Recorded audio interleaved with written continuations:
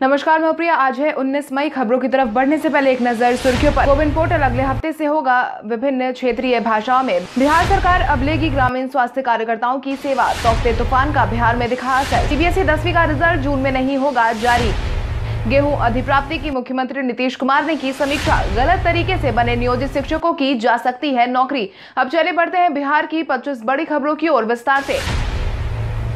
बिहार में कोरोना के मिले 6000 से ज़्यादा मामले। स्वास्थ्य विभाग की तरफ़ से मिली जानकारी के अनुसार बीते दिन के पिछले 24 घंटे में छह हज़ार दो सौ छियासी मामले सामने आए हैं, जिसके बाद बिहार में एक्टिव मरीजों की संख्या चौसठ पर पहुँच गई है। इसके साथ ही अगर हम प्रभावित जिलों की बात करें तो अररिया में दो अरवल में सत्तासी औरंगाबाद में एक सौ उनतीस, बांका में अट्ठाईस, बेगूसराय में दो सौ तिहत्तर, भागलपुर में एक सौ ग्यारह, भोजपुर में इकतीस, बक्सर में उनतीस, दरभंगा में एक सौ आठ, ईस्ट चंपारण में दो गया में एक गोपालगंज में चार सौ चौबीस, जमुई में साठ, जहानाबाद में सत्ताईस, कैमूर में इक्यावन, कटिहार में एक सौ सैंतीस, खगड़िया में उनसठ, किशनगंज में एक सौ तिरानवे, लखीसराय में सतासी, मधेपुरा में एक सौ पैंतालीस, मधुबनी में एक सौ इक्यानवे, मुंगेर में एक मुजफ्फरपुर में दो सौ ग्यारह, नालंदा में दो सौ बत्तीस, नवादा में अड़सठ, पटना में नौ सौ चौबीस, पूर्णिया में तीन सौ साठ, रोहतास में पचास, सहरसा में एक सौ आठ, समस्तीपुर में दो सौ सत्रह, सारण में एक सौ उनचास, शेखपुरा में अड़तीस, शिवहर में इकतीस, सीतामढ़ी में पंचानवे, सिवान में एक सुपौल में दो सौ पैंसठ, वैशाली में एक सौ इक्यासी, वेस्ट चंपारण में दो सौ छह मामलों की पुष्टि हुई है। इसके साथ ही छियालीस ऐसे मामले सामने आए हैं। जो दूसरे राज्यों के हैं, लेकिन इनके सैंपल बिहार के अलग अलग जिलों में कलेक्ट किए गए हैं। वहीं बिहार में बीते दिन के पिछले 24 घंटे में कुल मिलाकर के ग्यारह मरीज़ ठीक होकर घर वापस लौटे हैं, जिसके बाद ठीक होने वाले मरीजों की संख्या पाँच लाख पंचानवे हज़ार तीन सौ सतहत्तर पर पहुँच गई है। कोविन पोर्टल अगले हफ़्ते से होगा विभिन्न क्षेत्रीय भाषाओं में। कोविड 19 के वर्तमान माहौल के बीच केंद्रीय मंत्रालय ने अपना बयान जारी करते हुए कोविन पोर्टल को लेकर कई महत्वपूर्ण जानकारी दी है, जिसके तहत केंद्रीय मंत्रालय की तरफ़ से जारी किए गए आधिकारिक बयान में कहा गया है कि कोविड नाइन्टीन स्वरूपों की निगरानी के लिए सत्रह और प्रयोगशालाओं को जोड़ा जाएगा, जिसके तहत आम लोगों की सुविधा के लिए कोविन पोर्टल अगले सप्ताह तक हिंदी और चौदह क्षेत्रीय भाषाओं में उपलब्ध रहेगा। आपकी जानकारी के लिए आपको बता दें, केंद्रीय स्वास्थ्य मंत्री डॉक्टर हर्षवर्धन की अध्यक्षता में कुछ दिनों पहले बैठक का आयोजन करवाया गया था। उच्च स्तरीय मंत्रिमंडल समूह की छब्बीसवीं बैठक के दौरान ही इन निर्णयों की घोषणा ली गई है।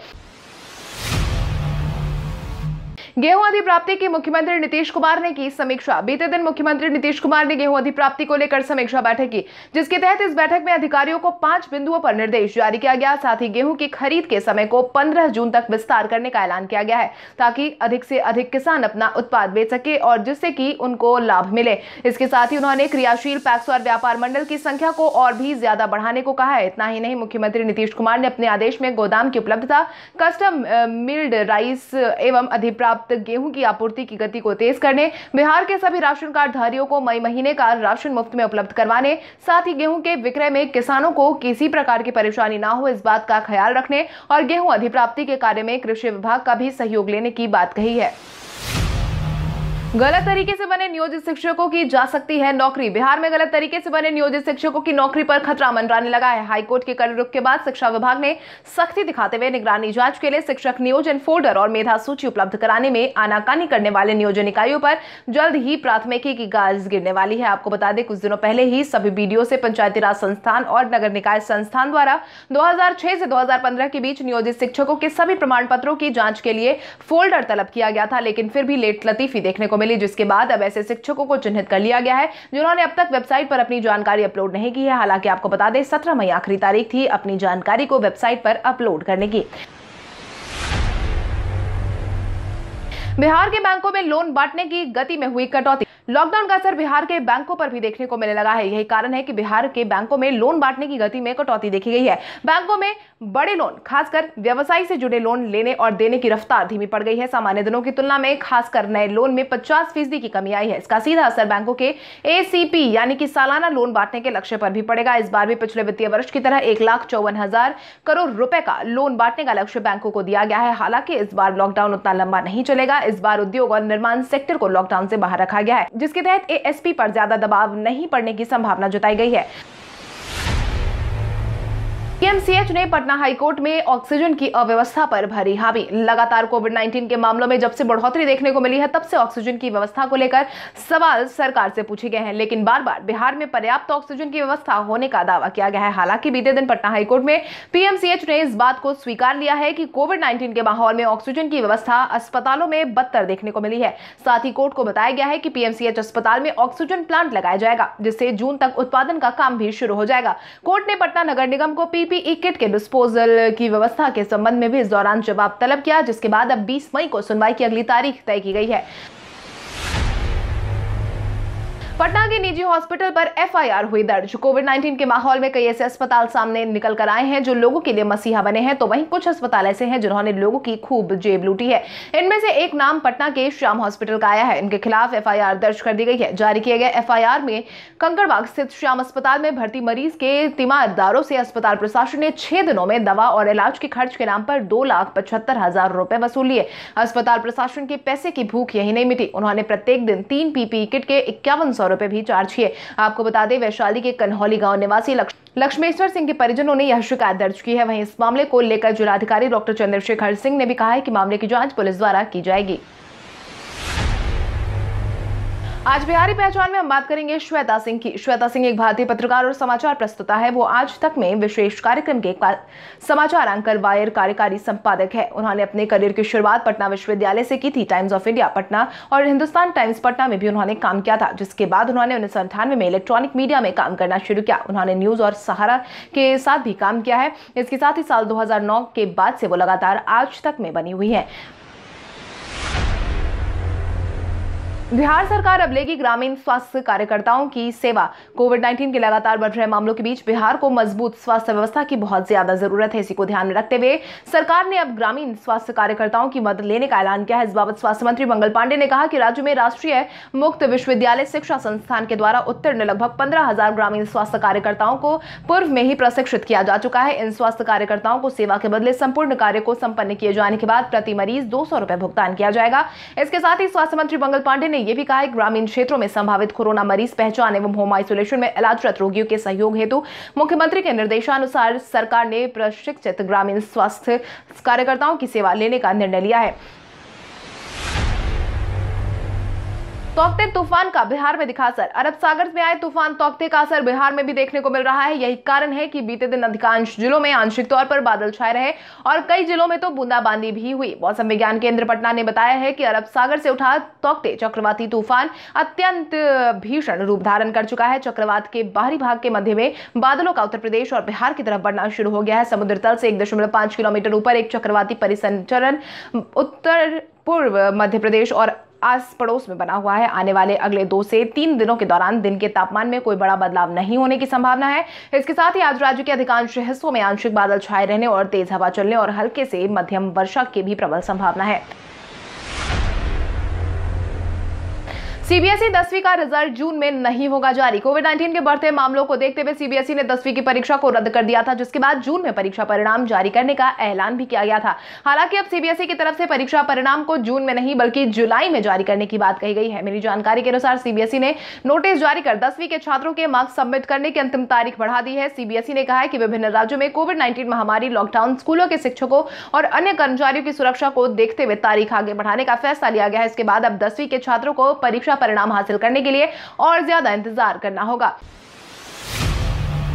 अब निजी अस्पतालों में भी एंटीजन की होगी जाँच। कोविड 19 की इस लड़ाई को और ज़्यादा तेज करने के लिए अब जीत सुनिश्चित करने के लिए सरकार की तरफ़ से निजी अस्पतालों में भी एंटीजन जाँच की शुरुआत की गई है। स्वास्थ्य विभाग के निदेशक प्रमुख स्वास्थ्य सेवाएँ बिहार डॉक्टर एनसी प्रसाद ने इस बाबत निर्देश जारी किया है। भारत सरकार द्वारा राज्य में कोरोना जाँच के लिए एंटीजन टेस्ट की संख्या बढ़ाने के निर्देश के बाद स्वास्थ्य विभाग ने इस दिशा में पहल की है। अधिक संख्या में जाँच के दायरे को बढ़ाने और अधिक संख्या में लोगों के कोरोना टेस्ट किए जाने को लेकर राज्य की प्राइवेट लेबोरेटरियाँ और अस्पतालों को भी अनुमति मिलेगी। सभी जानकारी के अनुसार आपको बता दें कि अभी तक एंटीजन की जाँच सरकारी अस्पताल और गिने चुने लैबोरेटरीज में ही की जाती थी। ऑक्सीजन कंसंट्रेटर को लेकर बीते दिन पटना एयरपोर्ट पहुँचा स्पेशल विमान। बिहार में कोविड नाइन्टीन की लड़ाई और मजबूती के साथ लड़ी जाएगी। बिहार में ऑक्सीजन कंसंट्रेटर की मांग को देखते हुए पटना एयरपोर्ट पर बीते दिन स्पेशल विमान के तहत ऑक्सीजन कंसंट्रेटर को पहुँचा दिया गया है, जिसके तहत पटना एयरपोर्ट पर 109 बॉक्स चिकित्सकीय उपकरण के साथ ऑक्सीजन कंसंट्रेटर भेजे गए हैं। बिहार सरकार के अधिकारियों ने इसे रिसीव किया। इन्हें वेयर हाउस में ले जाया गया। फिर आवश्यकता अनुसार जिलों में भेजा जाएगा, जिसके बाद आज भी वेंटिलेटर के आने की उम्मीद जताई जा रही है। आईएमए ने कोविड 19 के माहौल में जान गंवाने वाले डॉक्टरों की जारी की सूची। आईएमए ने हाल ही में कोविड 19 के कारण दुनिया को अलविदा कहने वाले डॉक्टरों की सूची जारी की है, जिसमें सबसे ज़्यादा बिहार के चिकित्सकों की जान गई है। जारी की गई सूची के अनुसार अब तक कुल मिलाकर दो सौ उनहत्तर डॉक्टर की कोविड नाइन्टीन के कारण जान चली गई है। इनमें से अठहत्तर केवल बिहार के थे। लोगों की जान बचाते बचाते खुद डॉक्टर अपनी जान गंवा रहे हैं। आईएमए की सूची में बिहार इकलौता राज्य है, जहाँ पचास से अधिक डॉक्टर पिछले एक साल में कोरोना से अपनी जान गंवा चुके हैं। इसके बाद यूपी में सैंतीस चिकित्सकों ने अपनी जान गंवाई है। इसके अलावा दिल्ली में अट्ठाईस आंध्र प्रदेश में 22 तेलंगाना में 19 वेस्ट बंगाल और महाराष्ट्र में 14 14 तमिलनाडु में 11 ओडिशा में 10 डॉक्टरों ने अपनी जान गंवाई है। पटना के सबसे बड़े हृदय रोग विशेषज्ञ डॉक्टर प्रभात का हुआ निधन। कोरोना ने अपनी जद में बहुत लोगों को ले लिया है। अब तक कई लोगों की जान भी जा चुकी है। वहीं जान गंवाने वालों का सिलसिला अभी भी जारी है। इसी क्रम में पटना के प्रख्यात हृदय रोग विशेषज्ञ डॉक्टर प्रभात का निधन हो गया है। हैदराबाद के एक अस्पताल में बीते दिन उन्होंने आखिरी सांस ली। कोरोना के संक्रमण के बाद डॉक्टर प्रभात कुमार के लंग्स ने काम करना बंद कर दिया था। उनका इलाज लगातार जारी था, लेकिन उन्होंने कोरोना के सामने हार मान ली। परिजनों की माने तो आठ दिन पहले उनकी तबियत ज़्यादा खराब हो गई थी। इसके बाद उन्हें एयर एंबुलेंस में हैदराबाद के एक निजी अस्पताल में लेकर गया गया था। हैदराबाद के अस्पताल में इलाज के बाद उनकी तबीयत थोड़ी सुधरी थी, लेकिन दो तीन बाद ही तबियत फिर से बिगड़ने लगी थी। वहीं मुख्यमंत्री नीतीश कुमार ने भी उनके गुजर जाने पर शोक संवेदना व्यक्त करते हुए कहा कि प्रभात कुमार का गुजर जाना चिकित्सा जगत के लिए अपूर्णीय क्षति है।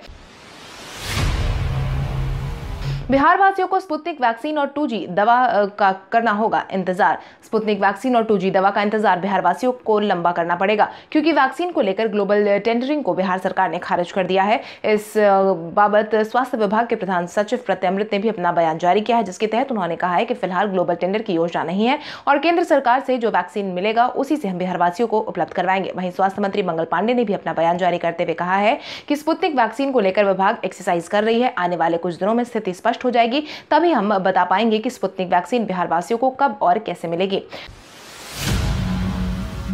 बिहार प्रशासनिक सेवा के सात अधिकारियों का हुआ तबादला। बीते दिन बिहार प्रशासनिक सेवा के सात अधिकारियों का तबादला कर दिया गया है। सामान्य प्रशासन की तरफ़ से मिली जानकारी के अनुसार शंभु कुमार को अपर समाहर्ता लोक शिकायत निवारण शिवहर विनोद कुमार को जिला योजना पदाधिकारी अररिया को, अपर समाहर्ता अररिया मधुबनी के जिला भू अर्जुन पदाधिकारी मोहम्मद राजीव को, मधुबनी का अपर समाहर्ता अनिल कुमार राय को, बेतिया में ही अपर समाहर्ता लोक शिकायत राज्य किशोर लाल वरीय उप समाहर्ता को, अपर समाहर्ता मोतिहारी दरभंगा के जिला भू अर्जुन पदाधिकारी अजय कुमार को, दरभंगा में ही एडीएम लोक शिकायत, जबकि किशनगंज के वरीय उप समाहर्ता राहुल बर्मन को अपर समाहर्ता लोक शिकायत किशनगंज के पद पर पद स्थापित किया गया है।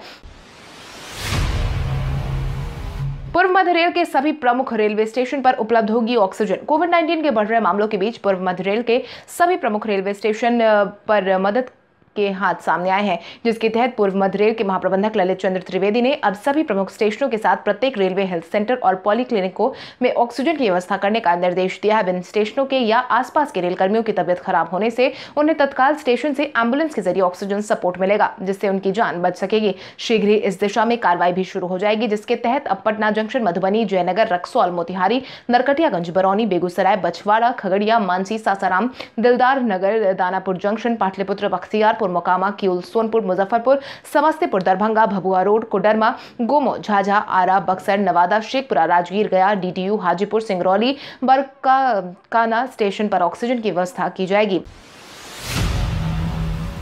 अश्विनी चौबे ने पीएम मोदी की तरफ़ से दिए गए सुझाव को कोविड 19 से लड़ाई में बताया अहम। कोविड 19 के बढ़ते मामलों को ध्यान में रखते हुए केंद्रीय मंत्री अश्विनी चौबे ने प्रधानमंत्री नरेंद्र मोदी की तरफ़ से दिए गए सुझाव को बहुत ही महत्वपूर्ण बताया है। इसके साथ ही उन्होंने अपना बयान जारी करते हुए कहा कि प्रधानमंत्री लगातार डॉक्टरों, अधिकारियों, वैज्ञानिकों, विशेषज्ञों एवं राज्य के मुख्यमंत्रियों से संवाद कर रहे हैं। केंद्र द्वारा राज्यों की जरूरतों को पूरा किया जा रहा है। संक्रमण को रोकने के लिए उन्होंने टेस्टिंग ट्रैकिंग ट्रीटमेंट पर कोरोना को लेकर जो दिशा निर्देश दिए हैं, उसके पालन पर ज़ोर दिया गया है। यह एक महत्वपूर्ण कोरोना के विरुद्ध जंग में हथियार नीरज कुमार ने लालू परिवार के आपदा काल में गायब रहने की कही बात। कोविड 19 के माहौल में राजनीति भी अपने चरम पर है। लगातार बयानबाजियों का सिलसिला जारी है। इसी क्रम में जदयू नेता नीरज कुमार ने राजद को आड़े हाथों लिया है, जिसके तहत उन्होंने अपना बयान जारी करते हुए कहा कि बिहार के लोग मज़बूत जी जीविशा के होते हैं। हमारा संकल्प है कि हर बिहारी कोरोना को हराएगा। उन्होंने कहा कि कोविड आपदा के इस कालखंड में भी लालू परिवार सिर्फ़ और सिर्फ़ ट्वीट फैमिली बनकर रह गया है। आपदा काल में जमीनी स्तर पर कार्य करने के बजाय ये लोग ट्वीट, रीट्वीट खेलने में लगे हुए हैं। इन लोगों ने विगत एक महीने की अवधि में कुल सात सौ सैंतीस ट्वीट और रीट्वीट किए हैं। उन्होंने आगे कहा कि मुख्यमंत्री क्षेत्र विकास योजना मद की राशि स्वास्थ्य प्रक्षेत्र में खर्च किए जाने को लेकर ही नेता प्रतिपक्ष तेजस्वी यादव की इतनी बेचैनी देखने को मिल रही है। वैक्सीन को लेकर भिड़े राजद और भाजपा। वैक्सीन के नाम पर बिहार में राजनीति शुरू हो गई। है इस मुद्दे को लेकर बिहार की दो बड़ी पार्टियाँ, राजद और भाजपा, एक दूसरे से भिड़ते नज़र आए हैं।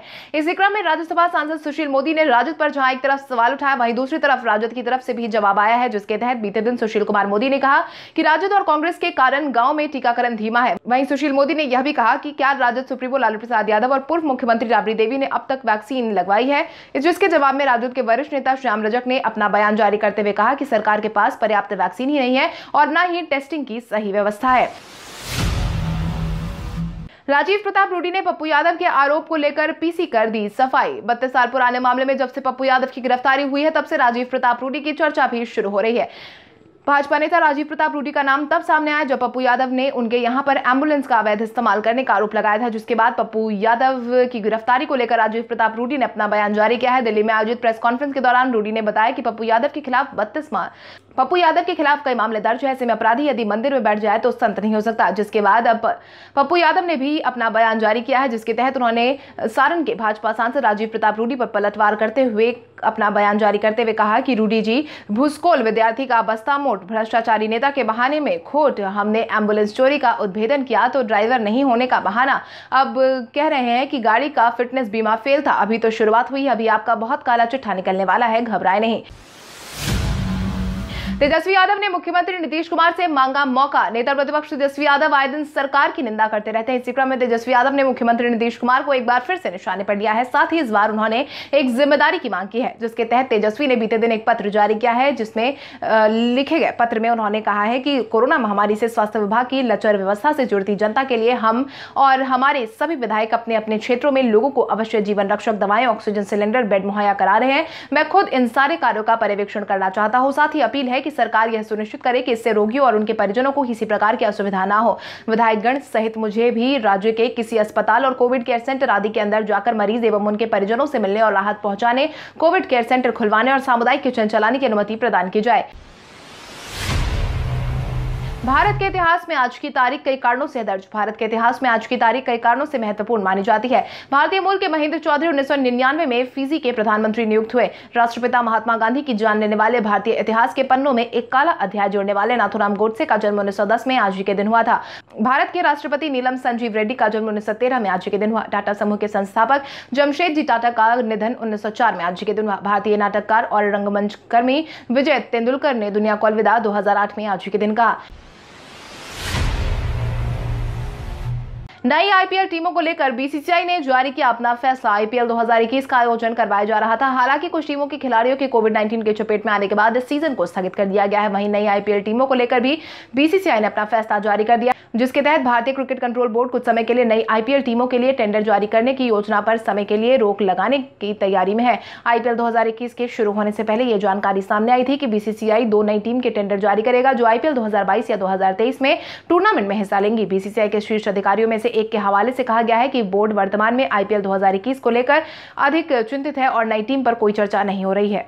कल हमारे द्वारा पूछे गए सवाल का जवाब आप में से बहुत सारे यूज़र ने हमें कमेंट करके दिया था। उसके लिए आपका बहुत बहुत धन्यवाद। आप में से जिन यूज़र का कमेंट हमें अच्छा लगा है, उनके नाम है सौरभ कुमार, विकास कुमार, गीत भोजपुरी, बिहार आशीष कुमार, आयुष कुमार, सैयद हुसैन, दरोगा कुमार, कुंदन कुमार कुमार जितेंद्र, अमरेश चौधरी, मोहम्मद ज़फ़र आलम रामशंकर प्रसाद यादव। इसके अलावा हमारी टीम को और भी लोगों के जवाब अच्छे लगे हैं, मगर समय के अभाव के कारण हम उनका नाम नहीं ले पाए। लेकिन आप हमारे सवालों का जवाब देते रहे। हम कल आपका नाम लेने की पूरी कोशिश करेंगे। तो चले बढ़ते हैं आज के सवाल की और आज का सवाल कुछ इस प्रकार है। आपके अनुसार कोविन पोर्टल को क्षेत्रीय भाषा में जारी करने से रजिस्ट्रेशन में लाभदायक ये साबित होगा या नहीं? अपने जवाब हमें कॉमेंट करके ज़रूर बताएँ। इसके साथ ही आज के लिए बस इतना ही। बिहार की बड़ी खबरों से अपडेटेड रहने के लिए हमारे यूट्यूब चैनल को सब्सक्राइब करें और बेलाइकॉन दबाना ना भूलें। धन्यवाद।